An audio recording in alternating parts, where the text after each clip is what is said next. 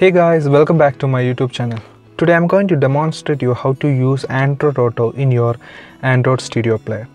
Using Android Stereo Players has become much popular uh, recently. Uh, people are going for the base variant of the car and putting Android stereo system. This stereo system can do pretty much all the tasks uh, like watching YouTube videos.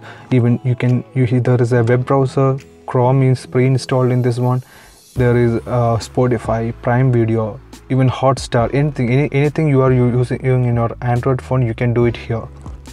But most of the people doesn't know that uh, you can use even Android Auto also in your Android stereo system as you know uh, know that there is a pre-installed google maps in your uh, android stereo system uh, but uh, you know how frustrating it is to use that uh, because uh, sometimes it the maps doesn't load faster than how the how your car is going even it can show you wrong routes and disrupt your navigation so i suggest you guys use the android auto system in your android stereo uh, when you're using Android Auto, it uses the phone's processing power uh, to give you the exact navigation. So uh, in this video, I will show you how to use this Android Auto in your Android unit. In order to start using Android Auto in your Android stereo system, you need to do some tweaks in your Android system. So the first step is to install Head Unit Reload, this app. You can, as you can see, this uh, this is the app Head Unit Reload. Go to the play store in your uh, android stereo system. This is the play store. Let it load. Mm, search for head unit reloader head, head unit reloader. And remember this is a paid app. The basic cost of this app is 413 rupees. There is a trial version for this one. I recommend you to use the trial version but it only works for 5 minutes. And check uh, use it check whether uh, this app is compatible with your android unit system. And then uh, you can purchase this one head, head unit reloader emulator for android auto it is a 430 rupees app but uh, definitely worth it. It makes your uh, navigation much more free. As you can see I already installed it so let's open it.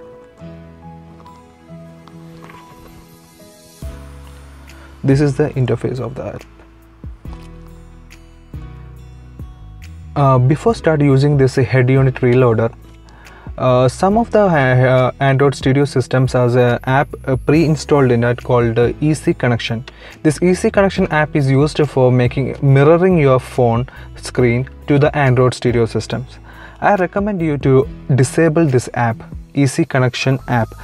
In order to disable it, you have to go to go to the settings of the Android system, then apps, see all apps. As you can see, there is no Easy Connection app installed on my Android unit, but uh, check whether it is installed on your android stereo system.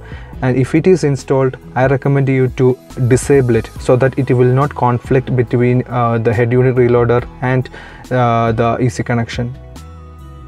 Now come back to our e head unit reloader app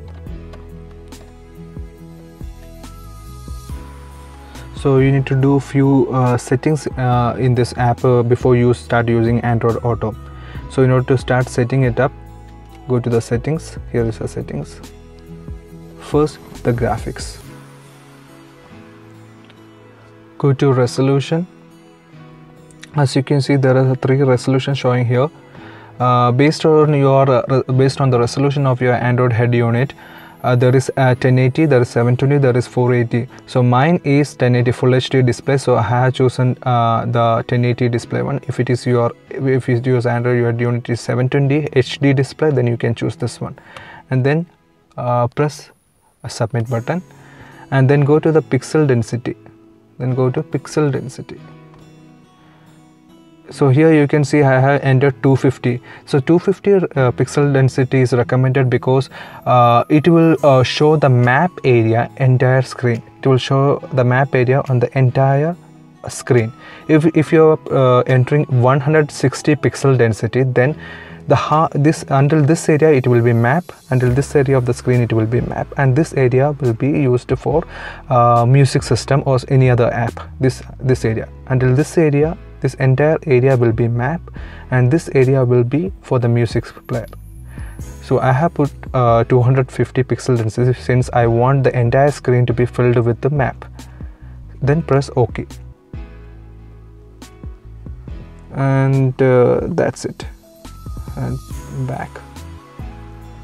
Then uh, the audio here you can see there is a set, uh, settings called enable speed sensitivity volume control.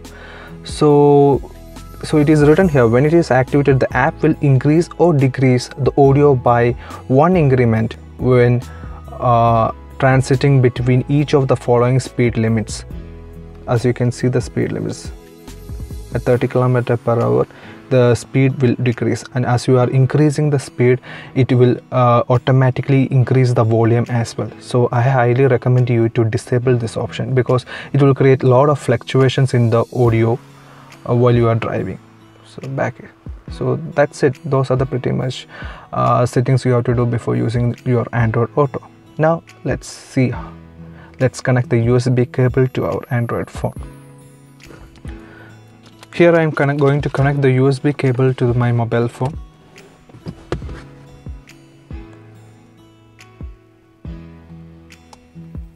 And you can see the Android Auto will automatically load on the screen. Yes, the map has loaded. And this is the menu button of the Android Auto. Press this. And you can see almost all the apps which I installed on my mobile phone is displaying over here.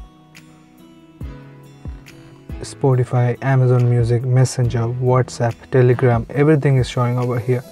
And let's see how the Google Maps work. Go to the maps and let's do a random search of a place. Let's search uh, Munnar. See how fast it loaded.